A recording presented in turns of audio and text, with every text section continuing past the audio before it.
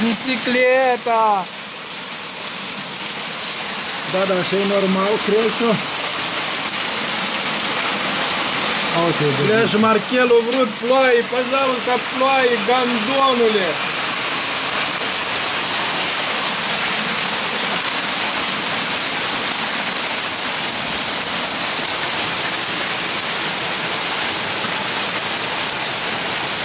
Așa s-a supărat Bojica pentru că Marchelul a interzis uh, exprimarea minorităților sexuale.